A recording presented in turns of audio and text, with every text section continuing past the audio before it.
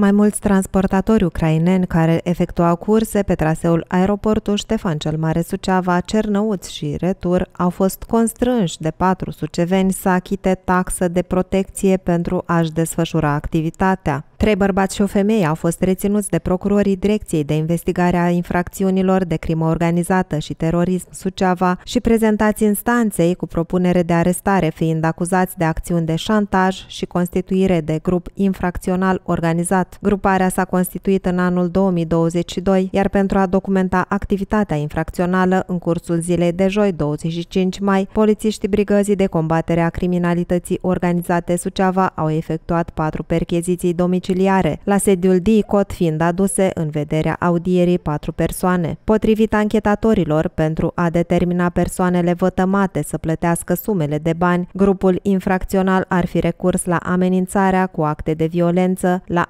întrebuințarea de acte de lovire sau alte violențe la efectuarea de sesizări ale autorităților cu privire la faptul că cetățeni ucraineni ar fi efectuat fără drept transport de persoane. Totodată, pentru a controla activitatea desfășurată de transportatori, cel puțin un membru al grupului infracțional organizat s-ar fi deplasat în zona aeroportului în intervalele de timp în care ar fi aterizat sau ar fi decolat curse aeriene internaționale. În această modalitate, date, grupul infracțional organizat ar fi obținut aproximativ 10.000 de euro pe lună de la transportatorii ucraineni. Suportul de specialitate a fost asigurat de către Direcția Operațiuni Speciale din Poliția Română. Acțiunea beneficiază de sprijinul polițiștilor din cadrul Biroului Rutier Suceava și Serviciului Județean de Poliție Transporturi Suceava, precum și al jandarmilor din cadrul Inspectoratului de Jandarmi Județean Suceava.